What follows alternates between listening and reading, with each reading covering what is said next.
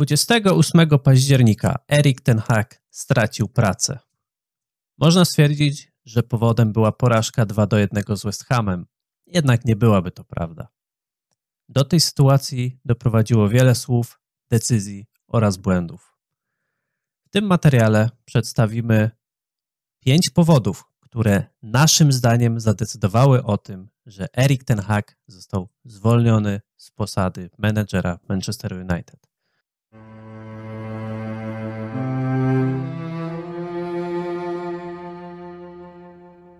Cześć, to jest kanał Adwokaci Diabłów i dzisiaj będziemy się rozprawiać z byłym już szkoleniowcem Manchester United.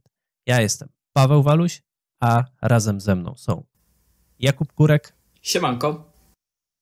Oraz Łukasz Pośpiech. Hej, hej. Dzień dobry. Będzie to wyglądać mniej więcej tak, że ja przygotowałem taką listę pięciu zarzutów, które moim zdaniem najbardziej ciążą na Eriku Tenhagu. To, co według mnie o tym zadecydowało. Chłopaki spróbują coś do tego dodać, może się z tym nie zgodzą, może będą mieli jakieś swoje pomysły. I bez zbędnego przedłużania lecimy.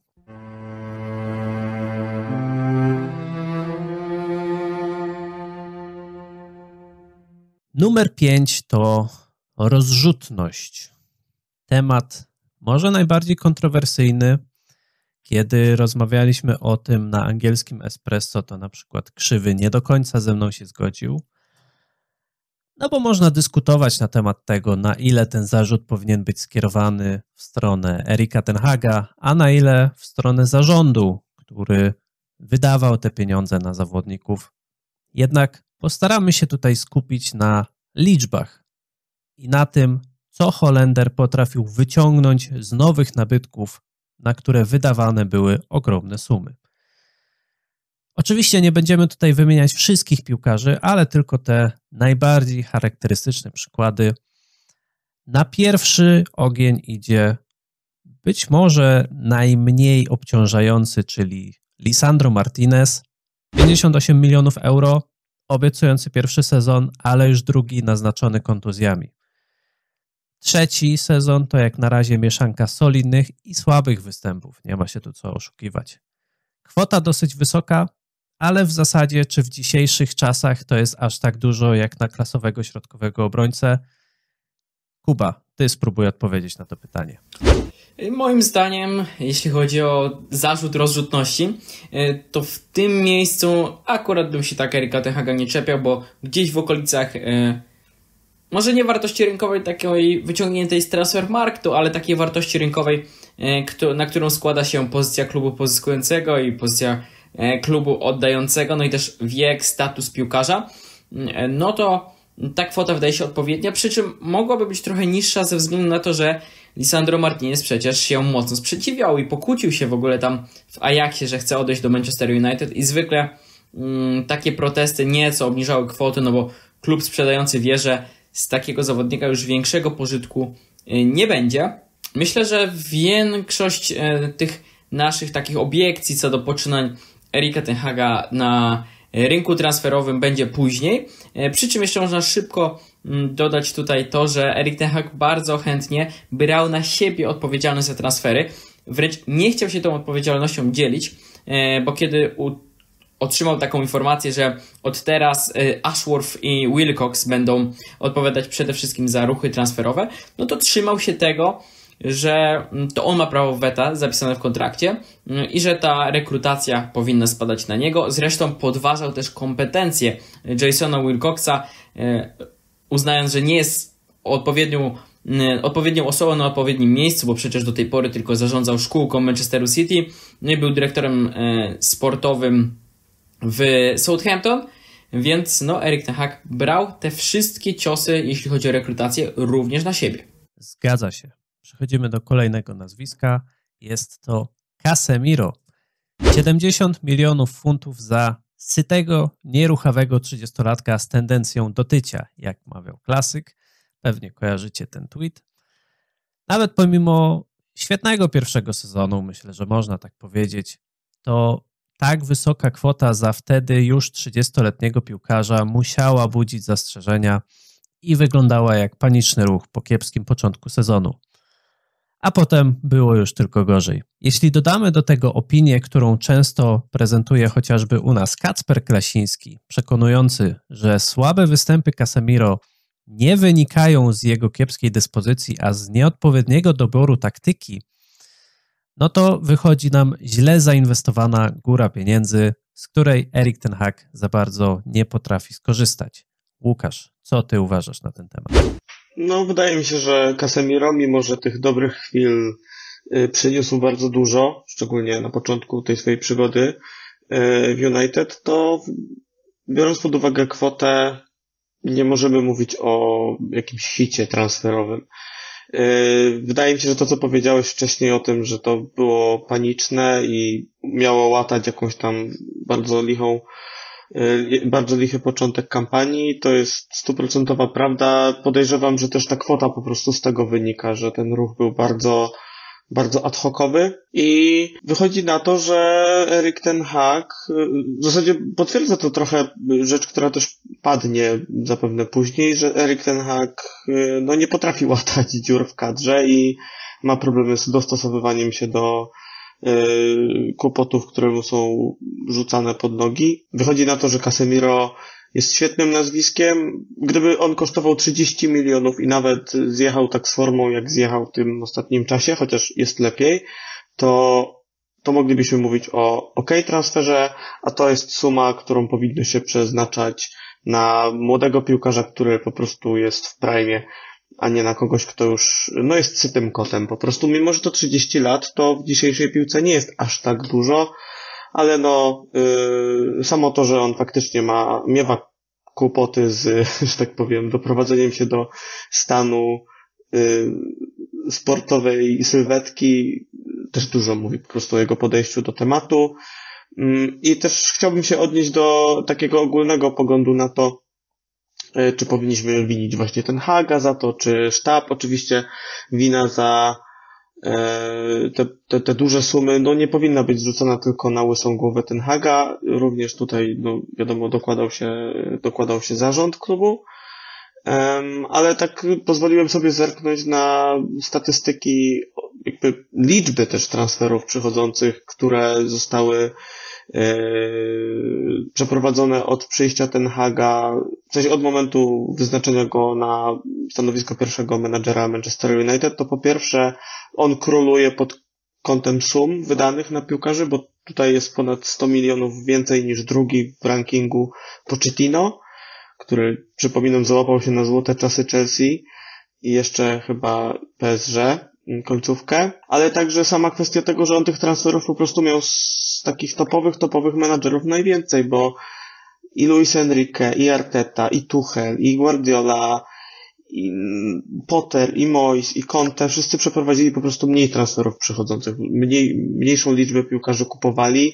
Jedyny, kto go tak wyprzedza bardzo istotnie z tej czołówki to jest George Jesus, ale to wiadomo jest e, kwestia arabskich transferów. E, I wydaje mi się, że w momencie, w którym to on miał główne, główne prawo do weta i gdzieś tam główny głos w wyborze kadry, no to powinien być bardzo duży głaz do jego ogródka, że ci piłkarze po pierwsze byli przepłaceni, że ta kadra była dobierana w taki sposób, że nie pomagała. No i Casemiro jest chyba świetnym przykładem, że drogo, no i ostatecznie też średnio po prostu. Tak jest. I lecimy od razu do kolejnego zawodnika. E, Kuba, ty dostaniesz najprostszy strzał. Będzie to oczywiście Antony, no bo czy tutaj trzeba coś komentować? Mocny kandydat na najgorszy transfer w historii piłki nożnej i ja tu absolutnie nie przesadzam. A trudno nie odnieść wrażenia, że został on dokonany ze względu na naciski Erika Tenhaga. Kuba, jako osoba, która na początku próbowała bronić Brazylijczyka, to były bardzo heroiczne próby. Jak teraz na to patrzysz? Tak, tak. E, no ciężko mi uwierzyć w to, co wygadywałem jeszcze, e, myślę, że w okolicach rok, roku, roku e, temu. No ale tak, broniłem Antonego. Łatwo uderzać w Eryka Tenhaga po tym transferze, chociaż linia obrony holenderskiego szkoleniowca była taka, że przecież to nie jego wina, że wydano na niego 85 milionów, zwłaszcza, że wcześniej, tego samego lata, tylko że wcześniej, nie w tam w ostatnich dniach okna transferowego, można było za niego zapłacić dużo mniej i w ogóle Ajax był w szoku, że, że aż tyle Czerwone Diabły zdecydowały się zapłacić. Mm, więc ja nie wiem, czy tak do końca broń Ten Haga, skoro on się uparł. No a druga taka hipoteza stawiana przez dziennikarzy, między innymi ESPN, mm, taki ciekawy tekst, może podlinkujemy go w, e, w opisie, który ja tłumaczyłem z ESPN, e, to tam było powiedziane, że zarówno Casemiro, jak i Antony, którego często nie podpinamy do, do tego, to były dwa paniczne ruchy dokonane właśnie po pierwszych dwóch porażkach z Brighton i z Brentford, e, więc to dużo rzeczy złożyło się na to, że Antony kosztował aż tak dużo i gra aż tak słabo. Tak jest. Kolejne nazwisko, kolejne, no nie wiem w sumie, czy rozczarowanie. Wout Weghorst wypożyczony za e, kwotę 2,30 miliona euro. Łukasz, no nie jest to dużo, ale cytując klasyka, komu to potrzebne? A ja chyba, nie wiem, to chyba stanę troszkę w obronie Ten Haga tutaj, tak minimalnie. Nie, nie, nie, nie uważam, że to był trafiony ruch. To jakby disclaimer na początku, ale może to jest jakiś taki urok osobisty ale ja go po pierwsze bardzo polubiłem e, te pół roku, jak był e, na Old Trafford, a po drugie, no on był takim pierwszym, pierwszą jaskółką, która miała zwiastować pomysł ten Haga na pressing machine, które już oglądamy, oglądaliśmy, muszę się przyzwyczaić do czasu przeszłego, w kilku iteracjach y, na Old Trafford i mam wrażenie, że Weghorst miał rolę taką, jaką Ten Hag mu wymyślił, tylko ona się po prostu nie sprawdziła. Miał dużo biegać, miał dużo zagrywać. Przez chwilę próbowano z Hojlunda takiego zawodnika zrobić. Pojawił się Mount, który tę samą rolę miał spełniać. Z Cirkce możliwe, że też. Uważam, że po prostu rozjechały się oczekiwania kibiców z tym, co Weghorst ma do zaoferowania i czego od niego oczekiwał ten hak. E, bo chyba wszyscy oczekiwali dziewiątki, która będzie ładowała gola za golem, albo przynajmniej gola co drugi mecz. No A właśnie, tu okazało się, albo że... po prostu gola. No dwa strzelił chyba, nie? Albo jednego, już nie pamiętam, ale ile on miał w sobie pasji przy tych bramkach, nie? Udało mi się go widzieć na żywo. To jest strasznie zaangażowany człowiek. Y, I ja chciałbym, żeby mu wyszło po prostu Manchester United. No nie wyszło, ale myślę, że to była taka próba wykonania z, tą, z tą kadrą czegoś, na, na co pomysł miał ten hak. Przypomnę, że to jest też, poprawcie, cię, poprawcie mnie jeśli się mylę, ale to jest, to też nastąpiło po odejściu Ronaldo i tam kłótnie również były o to, jak Ronaldo presował, więc możliwe, że po prostu uznał, że zastąpi według niektórych Gołta na pressing machine i no niestety efekt jest taki, jaki widzimy. Ale no, suma jest mała, więc też już nie przesadzajmy z tym, z tym transferem. Okej, okay. kolejny zawodnik to też mała suma. 5 milionów za tyle trafił do nas Altaj Baindir, ale ponoć Erik Ten Hag nie chciał się do niego odzywać przez pierwsze dwa miesiące, co może tłumaczyć, dlaczego Turek praktycznie nie dostawał żadnych szans i do dzisiaj ma rozegrane dwa spotkania, jeśli się nie mylę w tym zespole. Nie, chyba e... trochę więcej niż dwa spotkania. Wydaje mi się, Jesteś że. pewien? Że wydaje mi się, dwa. Że... Dwa? Dobra, no to, no to no mogę się mylić. nie? Y, zweryfikujemy to. Y, ja uważam, że mając w kadrze jeszcze wtedy Radka Witka, mając w składzie mm, młodych bramkarzy, przecież jeszcze wtedy Matej Kowar jeszcze przecież był w Manchester United, wypożyczony co prawda, mm, ale był y, w, w kadrze Manchester United, był dostępny, był Tom Hitton, zawsze stary wyjadacz Premier League, który w razie czego mógł wejść do bramki, zresztą wchodził, mm, kiedy trzeba było. Więc mając w kadrze takich piłkarzy, no to ten Altaj Bajinder nie był potrzebny i do dziś tak naprawdę nie wiemy, jaką, jaki on poziom e, prezentuje. Więc można było sobie ten transfer e, odpuścić. Już prędzej bym zrozumiał tego Zajona Suzukiego, którego Czerwone Diabły chciały ściągnąć, który przynajmniej był młody i być może utalentowany, nie wiem. No, świetnie sobie radzi Serie A teraz. Dokładnie. Tak jest. Łukasz, do ciebie leci kolejne wypożyczenie. Tym razem jest to Sofian Amrabat, czyli piłkarz, który spędził tutaj e, trochę czasu i kosztowało to Manchester United 9 milionów funtów, a ponoć Erik Ten Hag miał chcieć ostatecznie, aby pozostał Sofian w jego składzie. No i pytanie, czy to na pewno wystawia dobrą opinię samemu Ten Hagowi? No uważam, że to jest jeden z tych przykładów bardzo skrajnie pokazujących, że Ten Hag się pogubił, albo że może troszkę za bardzo się uparł na niektóre swoje pomysły, bo y, no, ja mam w zasadzie dwa dobre wspomnienia z Amrabatem i to są bardzo y, bardzo śmieszne jest to, że to jest jego pierwszy i jego ostatni mecz, bo pamiętam jak wszedł wtedy na lewą obronę w swoim debiucie, pokazał się bardzo dobrze i pamiętam ten finał z Manchesterem City, a pomiędzy w zasadzie to było takie bujanie się po bardzo średnich albo nijakich występach. Kwota tego transferu jest dla mnie, znaczy tego wypożyczenia jest dla mnie szokująca,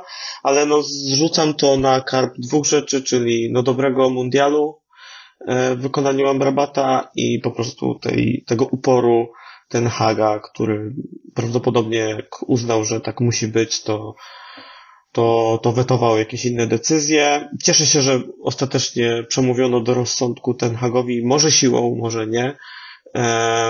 I Amrabat nie trafił na Old Trafford na stałe.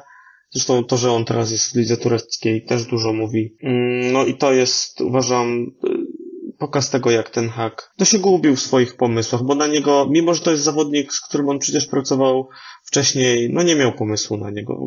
Miał być takim uniwersalnym zawodnikiem, a był nijaki. O wszystkiego i do niczego. Taki tak Mazraoui trochę. Chociaż Mazraoui na razie sobie radzi świetnie. Kuba, dla ciebie ciekawy temat, ponieważ trafił się Andre Onana, czyli 50 milionów euro i wielka obietnica odmiany gry w stosunku do Dawida Dehei. Pierwszy sezon, festiwal błędów, niemal samodzielne wyrzucenie Manchester United z fazy grupowej Ligi Mistrzów. W obecnych rozgrywkach jest poprawa. Andre Onana nie popełnia już aż tylu indywidualnych błędów. Tylko czy to mityczne rozgrywanie piłki od tyłu, ta gra nogami, która miała być ogromnym atutem Kameruńczyka, faktycznie odmieniła grę Manchester United? Nie odmieniła gry Manchester United, ale uważam, że to nie jest wina Onany.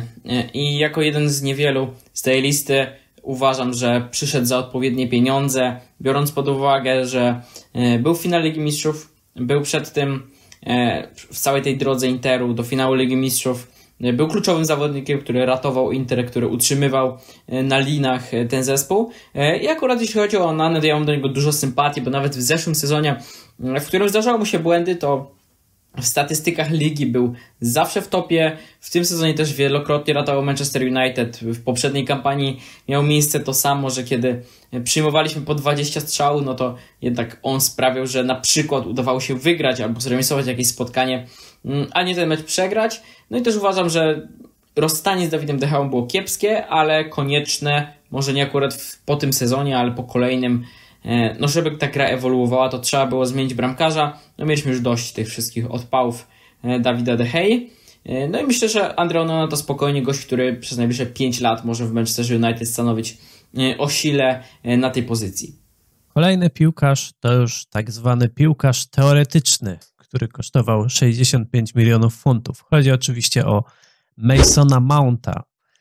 Teoretycznie szereg kontuzji trudno zrzucać na barki szkoleniowca, chociaż już pojawiają się oskarżenia, że to jego reżim treningowy i niechęć do zmiany decyzji też przyłożyła się do tego, jak wiele urazów pojawia się w zespole Manchester United. Pytaniem też pozostaje, czy Anglik w krótkich epizodach, kiedy był zdrowy, pokazywał grę usprawiedliwiającą ściąganie go takie, za takie pieniądze, kiedy pozostawał mu rok do wygaśnięcia kontraktu i czy usprawiedliwia to, że ponoć Erik ten Hag miał naciskać na to, aby to on otrzymał koszulkę z numerem 7, a nie Alejandro Garnacho. Sam miał e, wybierać, kto dostanie tę tak. siódemkę.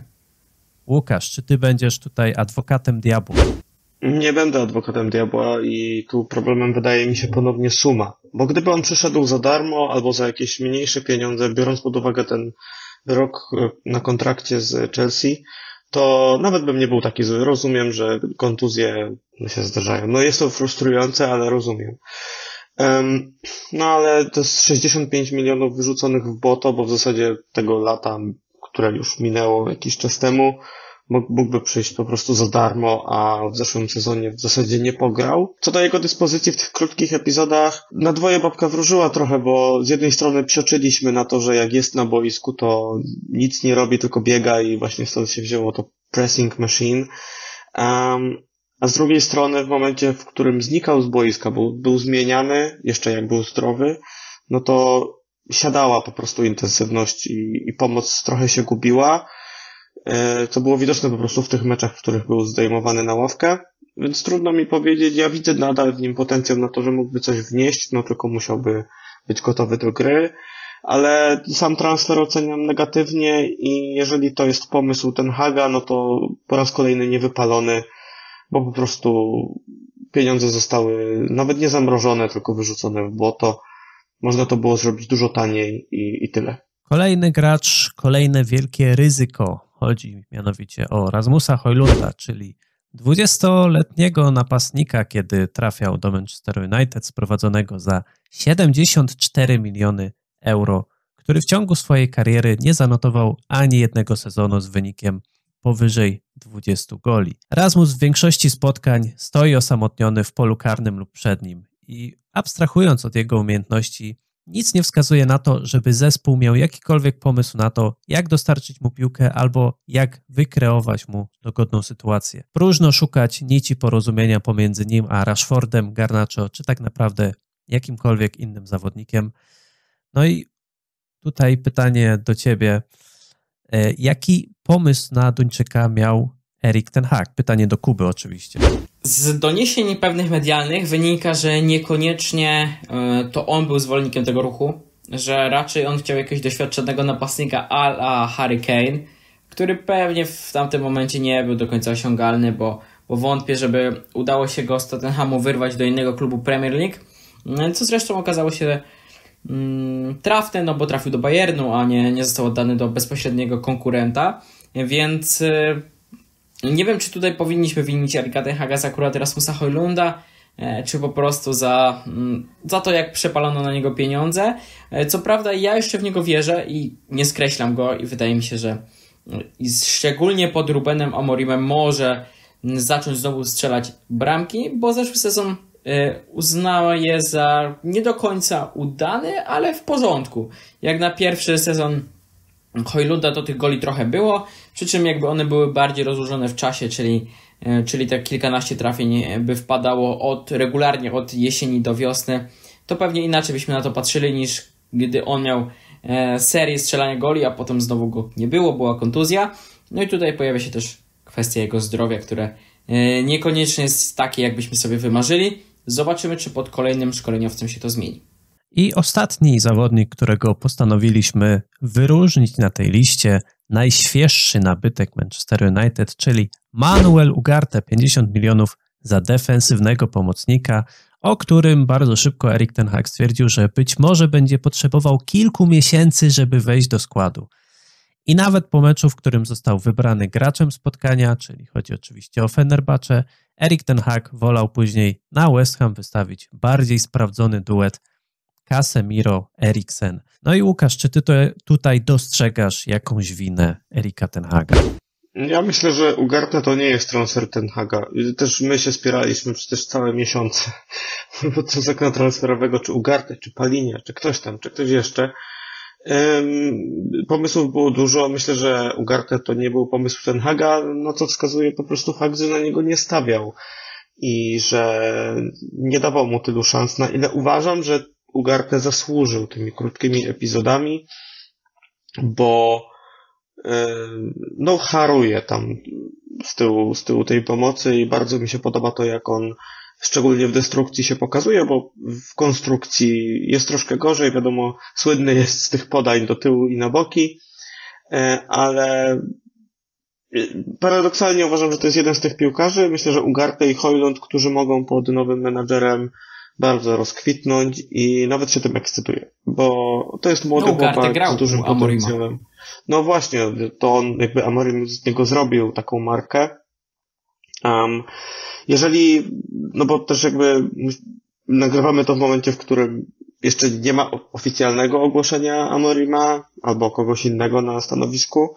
Y, jeżeli, jeżeli by się to stało, no to uważam, że to jest piłkarz skrojony pod ten system, na tyle na ile o nim poczytałem i to może być jeden z lepszych transferów Ten Haga, tylko chyba nie jego, tylko troszkę mu narzucony, bo też wydarzył się po prostu po tych zmianach strukturalnych w klubie, kiedy zostało jasno powiedziane, że no, spora część odpowiedzialności za decyzje w kwestiach transferów zostaje mu y, po prostu odebrana. No i słuchajcie, podsumowując to wszystko, za kadencji Erika Tenhaga wydanych zostało 630 milionów euro. Już tutaj Łukasz trochę o tym wspominał, że to są kwoty i ilości piłkarzy, o których no, nie mogli do końca marzyć nawet najbardziej rozrzutni albo inaczej menadżerowie najbardziej rozrzutnych klubów. Można by to było też dorzucać różne mniej lub bardziej dziwne wypożyczenia, ale tak naprawdę podstawowe pytanie powinno brzmieć, co Erik Ten Hag potrafił zrobić z piłkarzami zakupionymi za taką kwotę.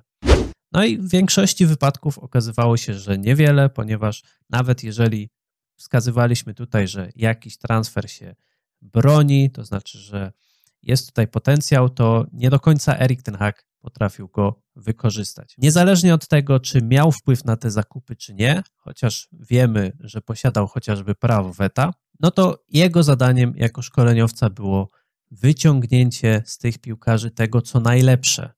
Tymczasem można było bardzo często odnosić wrażenie, że oni zamiast się rozwijać, to raczej stoją w miejscu albo wręcz zaliczają regres. I to już jest solidny zarzut, moim zdaniem, w kierunku, w kierunku Erika Tenhaga, którym zamykamy jego pierwszy grzech.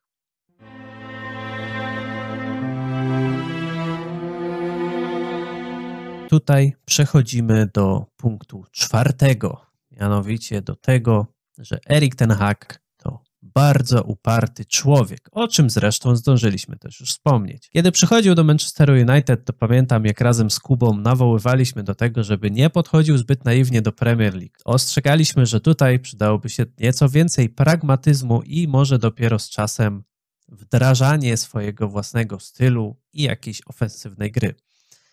Problem polega na tym, że Erik Ten Hag faktycznie w pewnym momencie postawił na pragmatyzm, ale nigdy z tego nie zrezygnował.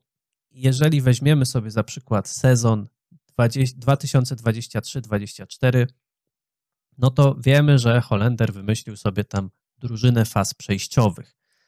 Manchester United miał wysoko odbierać piłkę i dobijać rywali szybkimi ciosami. Wyszło połowicznie, ponieważ Czerwone Diabły faktycznie dobrze radziły sobie z pressingiem i odbiorem e, na połowie rywali, i byliśmy też pierwszym zespołem w lidze, jeśli chodzi o bezpośrednie ataki. Było ich aż 98, więcej niż miał chociażby Liverpool. Cóż jednak z tego, skoro tak naprawdę kulała cała reszta? Jeżeli spojrzymy na statystyki z tamtego sezonu, no to XG wykreowanego mamy średnio 1,34 na mecz, to była 13 pozycja w lidze. Podziewane asysty 1,87 na mecz, 18 pozycja w lidze. E, różnica pomiędzy XG a strzelonymi golami minus 0,53, 17 pozycja w lidze, 40 goli z otwartej gry, 10 pozycja w lidze, 392 pozycje do strzału wykreowane z otwartej gry, 9 pozycja w lidze, 643 strzały rywali w kierunku naszej bramki, 19 pozycja w lidze, 200 stałych fragmentów gry rywali, ostatnia 20 pozycja w lidze, posiadanie piłki na poziomie średnio 49,99%. Dziesiąte miejsce w lidze. Jak zapewne zauważyliście, wszystkie te statystyki plasują nas albo na końcu stawki, albo w środku stawki. No i panowie, czy wam to coś przypomina? Może zaczniemy od ciebie, Kuba. E, no tak, myślę, że to przypomina e, to, co widzimy w tym sezonie, e, w tym obecnym, czy widzieliśmy, bo kadencja Erika Tenhaga dobiegła końca. E, znowu brakowało, przy czym e, taka drobna różnica jest tutaj, że Manchester United w tym sezonie wygrywał czy zdobywał mniej punktów niż te, na które zasłużył, niż te oczekiwane, a w poprzednim było raczej na odwrót. Przy czym no, od trenera wymaga się zwyciężania. Mm, no, a upartość Erika Tenhaga to nie tylko styl gry, ale też wiele innych, mniejszych być może kwestii, takich jak to, że zanim Erik Ten Hag dołączył do Manchester United, to już władzom e, Czerwonych Diabłów przekazano, że no Erik Ten Hag ma takie swoje odklejki, e, mówiąc, e, mówiąc tak dosadnie. No bo w, zanim dołączył do Ajaxu, albo na początku swojej kariery w Ajaxie, wciąż używał torby z wyhaftowanym logiem Utrechtu, czyli poprzedniego klubu. I kiedy włodarze próbowali go przekonać, że być może nie jest to najlepsze, najlepszy wizerunek dla menedżera Ajaxu, no to on stwierdził, że jemu to się podoba i nadal używał tej samej torby. Sprawiał też, że przebudowano salę do analizy wideo. E, zrobiono bardzo to e, w sposób dzisiejszy, w sposób e, no, na najwyższym poziomie high quality, bo tam powstała interaktywna podłoga, były wizerunki kibiców Manchester United, no wydano na to 200 tysięcy funtów. Wpływał na to, jak długa jest trawa na Old Trafford, przebudował szatnie, tak żeby po jednej stronie mieć obrońców, a po drugiej mieć napastników i pomocników. No dużo było takich kwestii, E, w które Erik Ten Hag był zaangażowany e, i czym władał. Przecież chciał też łatać dach podobno, chciał nadzorować pracę w łataniu dachu na Old Trafford. E, chciał wszelkiej władzy możliwej w klubie. No i też był przy tym bardzo, bardzo uparty, kiedy próbowano go do czegoś przekonać. Na przykład do tego, żeby nie do końca aż tak mocno musiał karać Cristiano Ronaldo czy Jadona Sancho. To niestety nie zdawało to E, nie zdawało to mm, celu, nie osiągano w ten sposób celu, no bo Erik Ten Hag e, był wszystkie obiekcje co do jego pracy traktował jako właśnie disrespect, jako zaburzenie autorytetu, więc no nie było mowy na żadne negocjacje. Łukasz, a czy według ciebie Erik Ten Hag był upartym człowiekiem? Tak. Y, po pierwsze podpisuję się pod wszystkim, co przed chwilą powiedzieliście panowie.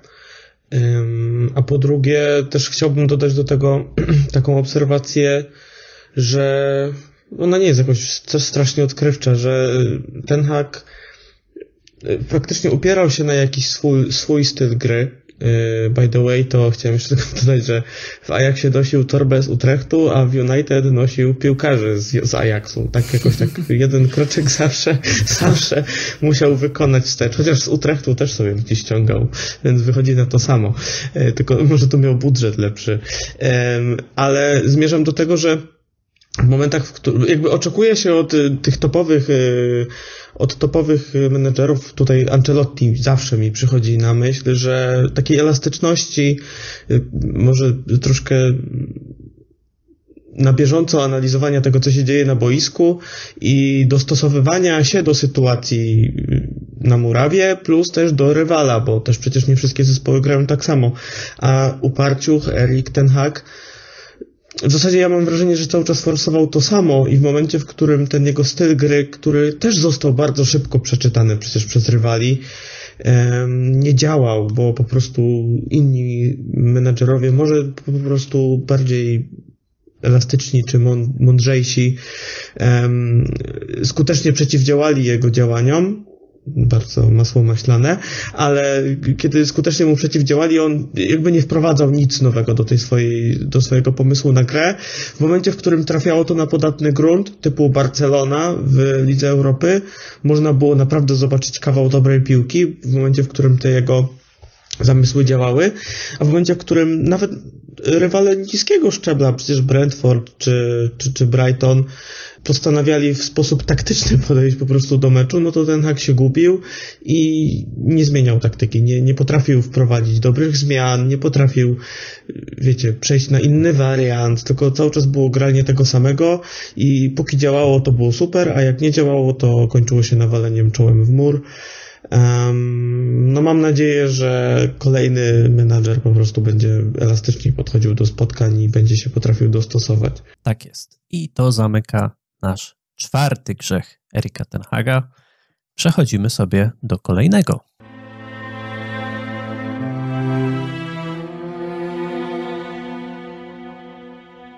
A trzecim punktem jest zagubienie, też po części wynikające z tego, co mówiliśmy, po części już przez nas wspomniane w jakiś sposób. No i od czego tutaj zacząć tak naprawdę, bo aż e, nie wiadomo, tyle jest tych wątków możliwych do poruszenia. E, no ja może zacznę od tego, że jak podaje Opta, 26% z 27 porażek Erika Tenhaga w Premier League wynikało z goli strzelonych w ostatnich minutach meczu, co jest najwyższym procentem wśród menedżerów, którzy przegrali w Premier League więcej niż 20 meczów. Czyli możemy powiedzieć, że Erik Ten Hag zastosował odwrócone Fergie Time. Ekipa Erika Ten Haga często była nazywana przez nas e, drużyną dwóch prędkości. Albo źle zaczynali spotkania, albo nie potrafili utrzymać wyniku do końca. Albo tracili bramki na początku spotkania, albo na jego końcu. Zazwyczaj stać ich było na jedną solidną połowę i to wszystko. I to tak naprawdę nie zmieniło się aż do meczu z West Hamem ostatniego Erika Tenhaga. Jeśli spojrzymy na mecze z tak zwaną Big Six, czyli teoretycznie sześcioma najsilniejszymi zespołami w lidze, chociaż wiemy, że ten termin już jest da dawno zdezaktualizowany, ale to jest temat na inną rozmowę.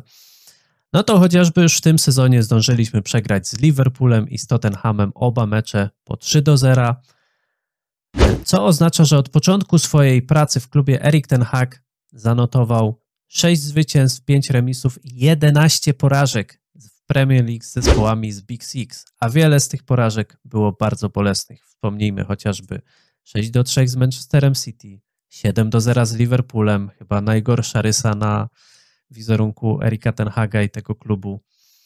3-0 e, z Manchesterem City ponownie sezon później, 4 do 3 z Chelsea, a przecież były jeszcze blamarze nie tylko z zespołami z Big Six, jak chociażby 4 do 0 z Brentford, 4 do 0 z Crystal Palace, czy pamiętne 3 do 3 z Coventry i ledwo, ledwo prześlizgnięcie się do finału FA Cup, a ostatecznie wygranego z Manchesterem City notabene. Wspomnieni Ligi Mistrzów, jedno zwycięstwo, jeden remis i ostatnie miejsce w grupie z Bayernem, Galatasaray i Kopenhagą. O tym już mówiliśmy z Kubą. Ostatnie 11 spotkań w europejskich pucharach Manchester United wygrał zaledwie jedno z nich i w tym czasie nie potrafił pokonać takich zespołów jak wspomniana Kopenhaga, no chociaż raz z nimi wygrał, ale był też remis z Twente czy ostatnio z Fenerbahce. Coś, o czym też już mówiliśmy, czyli rotacja, czasem potrzebna, czasem nie. Manchester United ma problemy z kontuzjami i pytanie, ile jest w tym winny Erika Tenhaga. E, trudno nie odnieść wrażenie, że często forsował piłkarzy, którzy jeszcze nie byli gotowi do tego, żeby grać, albo jeszcze było za wcześnie, żeby ich wystawiać na tyle minut. I no, chociażby tak było w przypadku Luka Showa, pamiętamy, albo przypominam moją ulubioną sytuację, którą, na którą swoją drogą Łukasz właśnie zwrócił uwagę, czyli jak w meczu z Porto w połowie spotkania zdjęty z boiska został najlepszy na, na, w tym meczu Marcus Rashford, a zastąpił go Alejandro Garnacho, który e, grał z kontuzją kolana i później przez to nie mógł pojechać na e, zgrupowanie reprezentacji. A Erik Ten Hag tłumaczył ten zabieg potrzebną rotacją, a wcześniej chociażby kiedy Marcus Rashford prezentował się bardzo słabo, no to jakoś tej rotacji nie chciał stosować.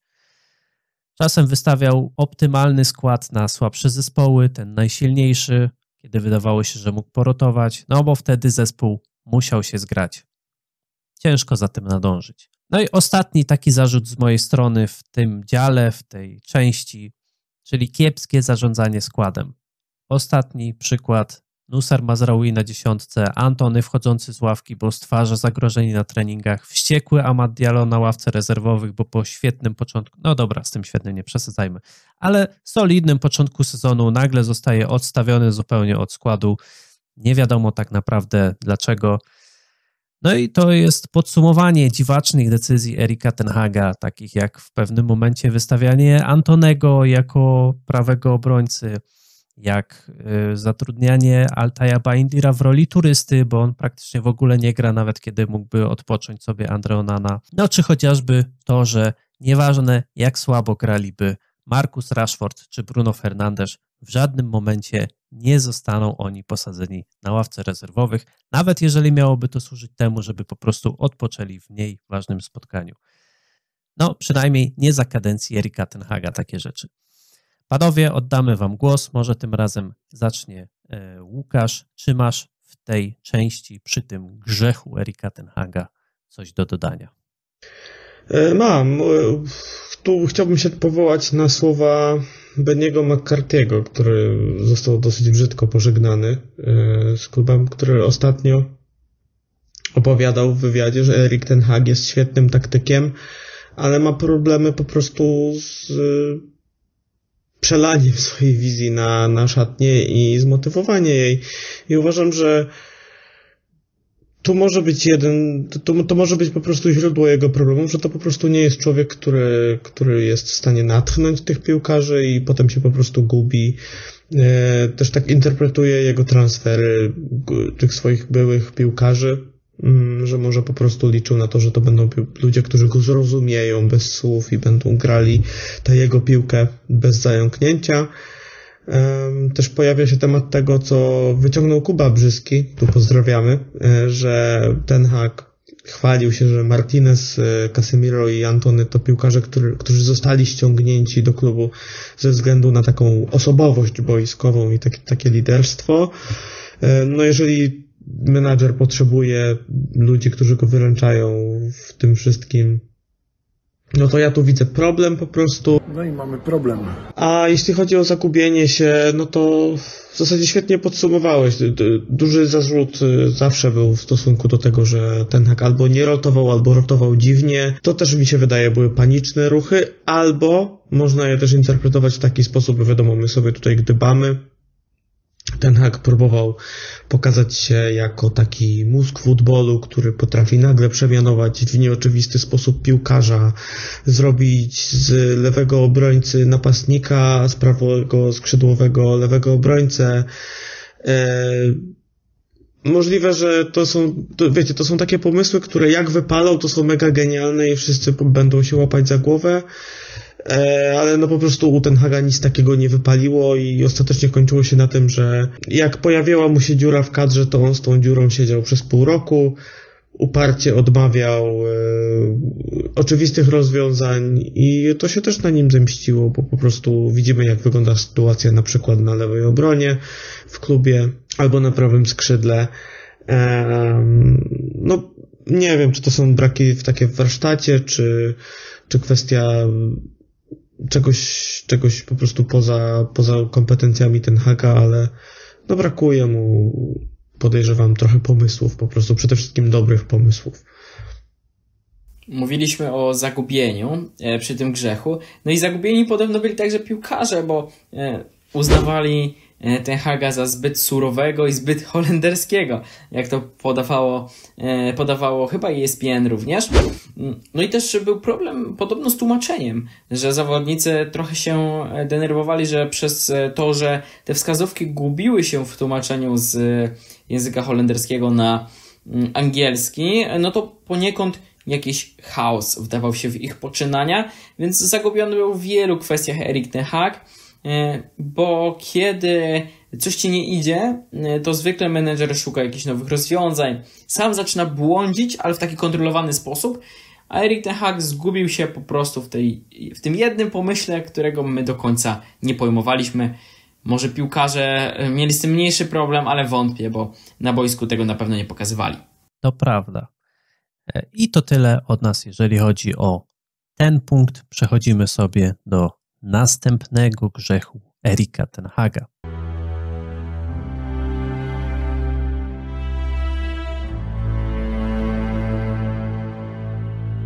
Punkt drugi, zbliżamy się do końca. Oczywiście to nie jest tak, że to jest jakieś stopniowanie od najgorszego do najważniejszego, tylko e, no po prostu taka wyszła kolejność. Następna na liście jest pycha. Pycha, która kroczy przed upadkiem. To się nieco łączy z upartością wcześniej wypominaną Holendrowi.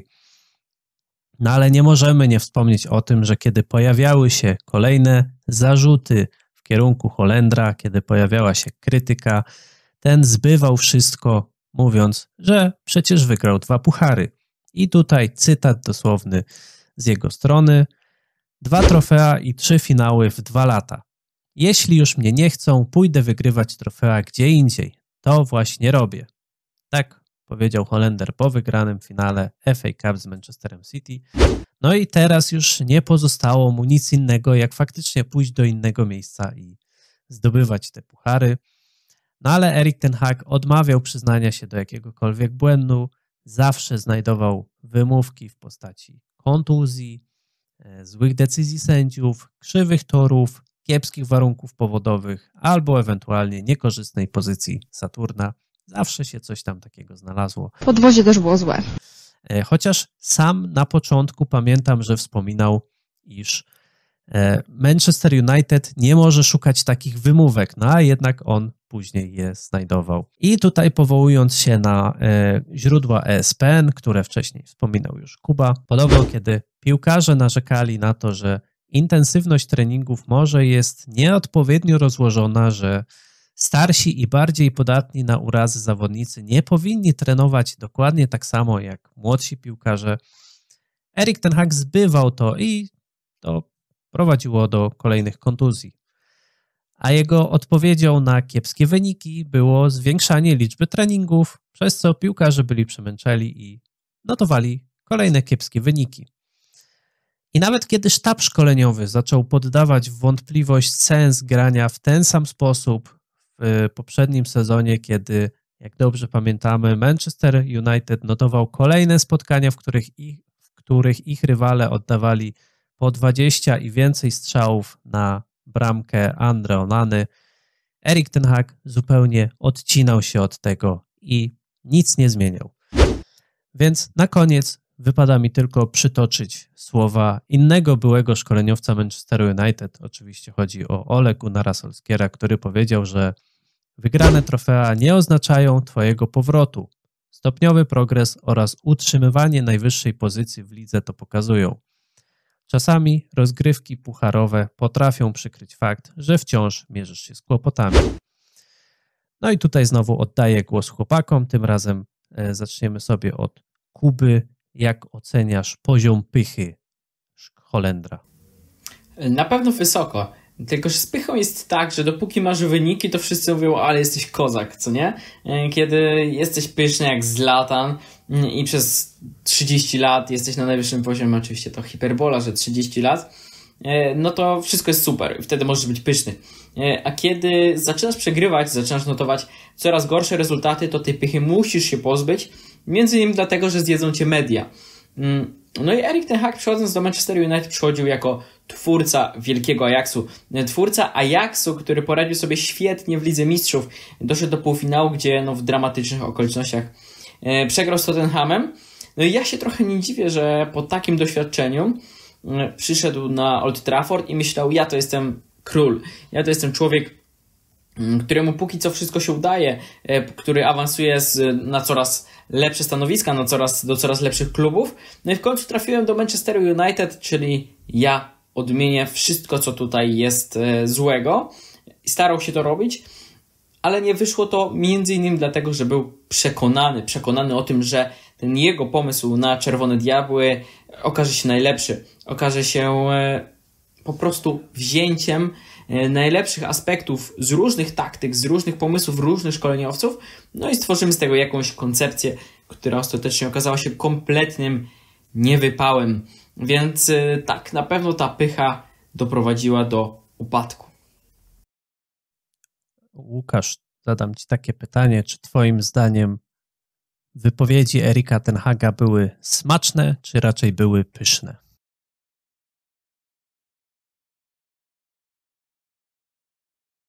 Hmm. Myślę, że Ten Hag dużo więcej zyskałby w mediach, gdyby był bezpośredni. Jakby mówił, jak jest. Kładł, wiecie, towar na ladę i tłumaczył, co nie poszło. Hmm. Ja myślę, że Slot w ogóle teraz bardzo dużo zyskuje takimi wypowiedziami i Marecka w sumie też. Um, tylko problem z Ten Hagiem jest taki, że jak próbował mówić coś bezpośrednio, to zawsze dostawał w nos i tutaj przytoczę sytuację z Jadonem Sancho. Um, wydaje mi się, że on może na początku nawet próbował być takim bardzo wprost mówiącym gościem, ale dosyć szybko się okazało, że to, że to nie przynosi rezultatu i faktycznie te jego wymówki czy czy jakieś tłumaczenia, albo samo najgorsze, co, co sobie ostatnio, co, co z tego ostatniego czasu jestem w stanie przytoczyć, to, to jak on tłumaczył, że nie uznaje porażki z Tottenhamem. Myślę, że to po prostu podkopało autorytet, zrobiło z niego błazna, który no dostaje, um, dostaje wciry w lidze, a udaje, że tak wcale nie jest. Tylko też trzeba pamiętać, po kim on przejmował ten klub, bo już pomijając Rangnika, to przecież Solskier zostawił taki zespół bardzo dużo, dużo koleżeństwa tam było, wszyscy byli takimi super ziomeczkami, razem chodzili na kole po, po szkole. Um, I wydawało się, że taki ktoś, kto będzie właśnie ich dociskał, kto wprowadzi reżim treningowy, będzie odpowiedzią i ustawia rzeczy, a ja nawet pamiętam, że jak kazał piłkarzom nadrabiać kilometry, które wybiegali więcej rywale na meczach na początku przygody w klubie, no to się wszyscy cieszyliśmy, że o Boże, jak on to ich wszystkich teraz nie, nie złapie za um, nie, nie ustawi w szeregu, że tak będzie ładniej. Ale no odbiło mu się to czkawką, ostatecznie stanęło na tym, że nic nie osiągnął. Myślę, że tutaj też po prostu może to wszystko wracać do tego, że on nie potrafi natchnąć tych swoich piłkarzy, a w kontaktach z mediami no był zbyt miękki i zbyt bezpieczny. Też cały czas mam z tyłu głowy, że możemy po prostu narzekamy na wszystko, co, co on zrobił i e, teraz jaki by nie był, to po prostu po złych wynikach będziemy to krytykować i to to jest trochę to, co Kuba powiedział, że póki ci wychodzi, to wszystko ci przejdzie. Może tak być, no ale musimy oceniać to po prostu, jak było przez ostatnie dwa lata. A no, ten Hag lubił nawijać makaron na uszy i tego się nie da, yy, nie da ukryć. To tutaj może taki disclaimer, bo oczywiście to jest materiał w pewnym sensie nastawiony na takie narzekactwo. Próbujemy zdefiniować, e, jakie rzeczy zadecydowały o tym po prostu, że Erik ten Hag został zwolniony, co oczywiście nie oznacza, że uznajemy wszystko, co on zrobił za złe, żeby tak nie było tutaj żadnych wątpliwości. Zamykamy punkt drugi i przechodzimy do ostatniego.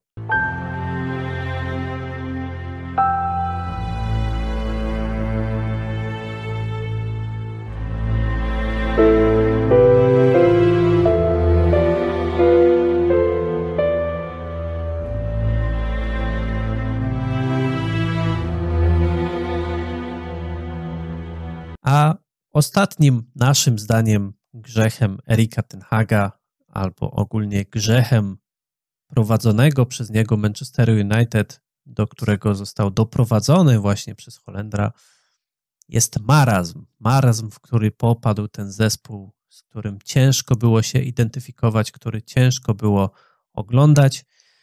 No i ja tutaj już trochę się ograniczę do czystych statystyk, które mówią nam, jak przytacza niezastąpiona Opta, że w 128 meczach pod wodzą Erika Tenhaga w kierunku bramki Manchester United oddanych zostało 1739 strzałów.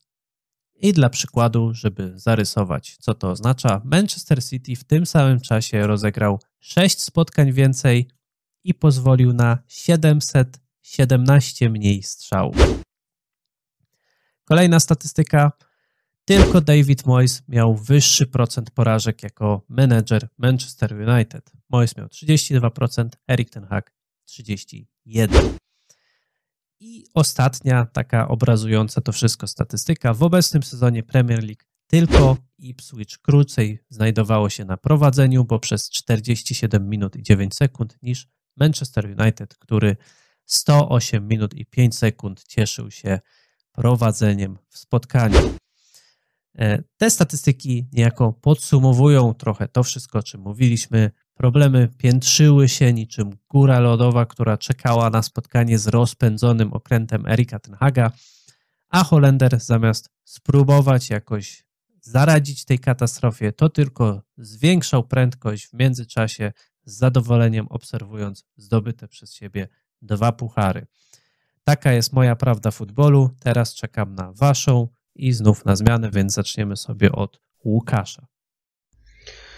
E, słowo marazm jest bardzo słusznym słowem, znaczy określeniem tego, jak moglibyśmy mówić o tym okresie, bo faktycznie, szczególnie w tym, tych ostatnich, powiedzmy, półtorej sezonu, trudno było oczekiwać od Ten Haga czegoś jakby konkretnego. Cały czas żyliśmy nadzieją, szczególnie w starciach z jakimiś prostszymi rywalami. E, I myślę, że to jest tak naprawdę świetne podsumowanie. Cieszę się, że to jest coś, o czym mówimy na końcu, bo po prostu tak naprawdę to jest ogólne wrażenie, z którym pozostawiają nas wszystkie te czynniki, o których powiedzieliśmy wcześniej. E, bo gdyby to wygotować, no to faktycznie na dnie garnka zostałoby no, tak, taka nijakość i, i, brak w zasadzie oczekiwań. No, nie spodziewaliśmy się już od wielu miesięcy wielkiego futbolu. Doskonale wiedzieliśmy, że każdy kolejny mecz to będzie naście strzałów przyjętych na, na bramkę. Y, nie potrafiliśmy też zdefiniować przyczyn tak naprawdę tego wszystkiego i wszystko wracało do postaci Ten Haga. Trudno było po prostu szukać cały czas indywidualnych błędów, które mogłyby go trochę odciążyć. Y, I te statystyki są po prostu przygniatające. No 1700 strzałów w 128 meczach to jest porażające. 31% porażek wiecie, to, to, to nie są liczby, które przystoją po prostu klubowi, który aspiruje e, do, do gry w Lidze Mistrzów. I to, że my na tym etapie sezonu, czyli w zasadzie listopad puka do drzwi, a my prowadziliśmy przez no, całe półtorej meczu w, w, w, sezonie ligowym, no, to są po prostu gwoździe do trumny, która już niestety jest zamknięta. Dla ten, jakby i ten hak spoczywa w środku. Ja jestem zmęczony i tak jak byłem dużym orędownikiem jego stylu gry i to ten hackball mnie przekonywało bardzo na papierze przynajmniej, to tak już po prostu byłem zmęczony. Przyznam się szczerze, że jak nie, nie miałem czasu obejrzeć meczu i wiedziałem, że nie będę na nagraniach na adwokatów, to też nie oglądałem całych spotkań, bo po prostu już byłem zmęczony tym wszystkim i no, wprowadził marazm do żyć wielu, wielu kibiców Manchester United. Kuba, a tak. czy w twoim życiu mhm. też zawitał marazm? Tak, w moim życiu zawitał marazm i nawet w nagrywaniu tych naszych odcinków poniekąd szukaliśmy wszystkiego, żeby się od tego marazmu oderwać. Dużo więcej było humoru, jakichś żartów niż e, czasem analizy tego, co się działo na boisku, bo ile razy w nieskończoność można e, analizować grę takiej drużyny, no było to trochę kłopotliwe. Mm, ale też wydaje mi się, że w, za poprzednich menedżerów y, trochę inaczej się to wszystko rozgrywało, bo Ole Gunnar i na im wyższą górę wyjechał, to tym większy był zjazd. I to było takie falowanie formy Czerwonych Diabłów. Zawsze, kiedy chcian, y, chciano mu ukręcić łeb, to on się ze stryczka zrywał i wygrywał coś spektakularnego. No i ta forma nie była taka jednolita, tylko zwykle y, górki przeplatały się z dołami. Jose Mourinho raczej wspiął się na szczyt i bardzo szybko z niego spadł. Mm, a Erik Ten Hag y, bardzo szybko się wspiął i bardzo długo i powoli i powoli z niego spadał. To był taki marazm y, połączony z e, świadomością, że lepiej chyba już nie będzie, bo każdy kolejny tydzień, każde kolejne ligowe spotkanie przekonywało nas, że e, no to chyba wszystko, co Erik Ten Hag był w stanie wykrzesać z tej drużyny. No szkoda, że się skończyło tam po 7 czy, czy 8 miesiącach e, za jego kadencji, więc no na pewno ten marazm, ta beznadzieja. E, zdawa, zdawało się, że piłkarze Manchester United grają nie w czerwonych koszulkach, a w szarych. Tak jest. I tymi słowami podsumowujemy ten materiał, który jest no niejakim zamknięciem, przynajmniej na naszym kanale historii Erika Tenhaga. Chcieliśmy właśnie jeszcze zrobić coś, co tak zebrałoby te nasze wszystkie myśli, te nasze pretensje w jednym miejscu i podsumowało to, jak wyglądała przygoda Holendra z tym klubem. E, no i myślę, że to jest ostatni materiał na jego temat, e, chyba że oczywiście wydarzy się coś, co zmusi nas do e, reakcji. Następne raczej będą już dotyczyły nowego szkoleniowca, a także innych klasycznych elementów związanych z tym klubem. Także jeżeli Wam się podobał taki materiał, to cieszymy się, bardzo dziękujemy. Dajcie nam łapkę w górę, żeby dać znać i koniecznie dajcie znać też w komentarzach, czy zgadzacie się z naszymi typami, czy uważacie, że może coś innego zadecydowało o tym, że ostatecznie przygoda Erika Tenhaga z Manchesterem United się nie powiodła. Jesteśmy bardzo ciekawi Waszych opinii. A jeżeli oczywiście chcecie być bieżąco z naszymi materiałami, no to zachęcamy Was do subskrypcji i jeżeli chcielibyście nas wesprzeć, to też e, będziemy za to bardzo wdzięczni. Otrzymacie wtedy stosowne benefity, które znajdziecie na dole. Ja też się postaram, żeby znalazły się tam linki e, odwołujące się do tych wszystkich statystyk i informacji, które dzisiaj tutaj e, podawaliśmy. No i co? I to w zasadzie tyle. Będziemy powoli się zbierać. E, bardzo dziękuję chłopakom, że tutaj nakręcili razem ze mną materiał. Byli to Łukasz Pośpiech. Dziękuję bardzo za zaproszenie i podziękujcie Pawłowi za świetny research i przygotowanie do tego odcinka, bo to, bo to on wykonał tutaj lwią część roboty i chciałbym, żeby został doceniony w komentarzach. Dzięki. Był też z nami Jakub Kurek. No, nakręciliśmy nie tylko materiał, ale również spirale nienawiści wobec Erika Tenhaga, za co ja wam serdecznie dziękuję. Niech znowu tak będzie, będzie, że nie bronimy go, że mieliśmy być adwokatami, a znowu same oskarżenia rzucamy. Być może będziemy adwokatami nowego szkoleniowca, kiedy dowiemy się już, kto nim będzie. Chociaż no najprawdopodobniej będzie to Ruben Amorim. Nie będziemy was tutaj zwodzić, także do usłyszenia przy następnych materiałach. Trzymajcie się. No i cześć.